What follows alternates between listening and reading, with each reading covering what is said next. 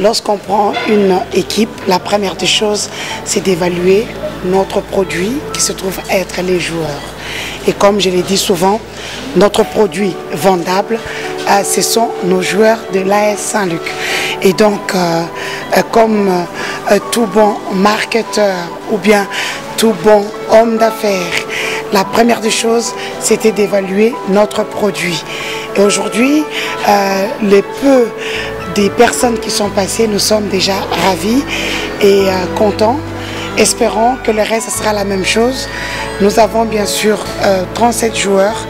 C'est beaucoup pour une équipe de Ligue 2. Donc euh, c'est à travers euh, ces examens très très euh, capitaux que nous prendrons la décision soit d'y garder quelques-uns, de nous libérer de quelques autres. Voilà. Je ne fais pas deux reprises. Je suis la nouvelle présidente de l'AS Saint-Luc.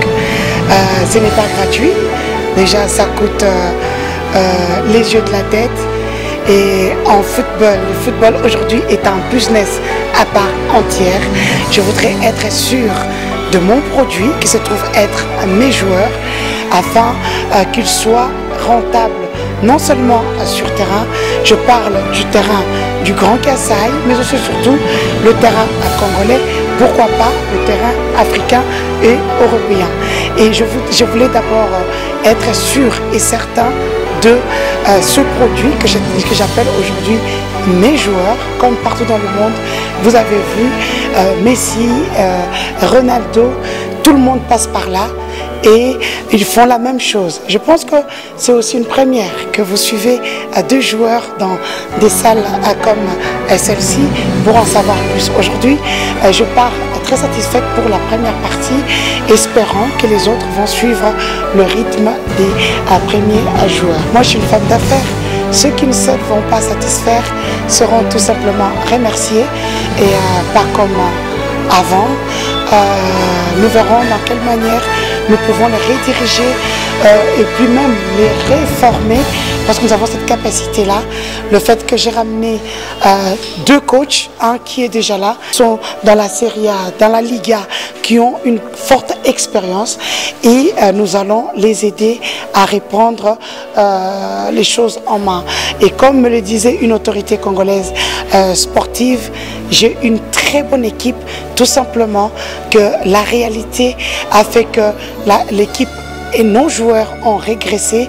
Et je pense qu'avec un peu de volonté, pas même un peu, beaucoup de volonté, parce qu'ils n'ont plus le temps euh, de vouloir faire ce qu'ils veulent. Ici, ils doivent être des guerriers et nous sommes dans la mare. Ceux qui sont faibles restent, les guerriers continuent le chemin. Alors, la première impression, que c'est la Madame la Présidente, il a fait déjà les choses qu'il faut faire dans un club professionnel. Donc, avant de les tester sur le terrain, il faut faire les tests médicaux. Parce que si les tests médicaux, ça ne marche pas. Et malheureusement, un joueur ne peut pas descendre dans le terrain pour faire le match. Donc, c'est la loi, ce n'est pas un choix. Et donc, je vois que Madame la Présidente, il s'est engagé vraiment pour faire du bien le club, toutes les choses professionnelles. Et moi, je suis été avec elle maintenant quand, ils ont fait la, visite médicale, tout ça passe bien.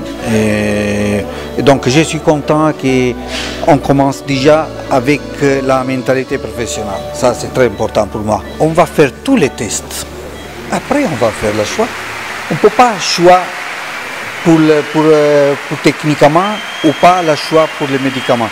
On va faire tous les tests complets à 100% et après là-bas ça va tomber la, la choix. Qui sont forts, mentalement, physiquement. Et, donc nous sommes là pour ça. Donc euh, ça c'est la suite, plus important.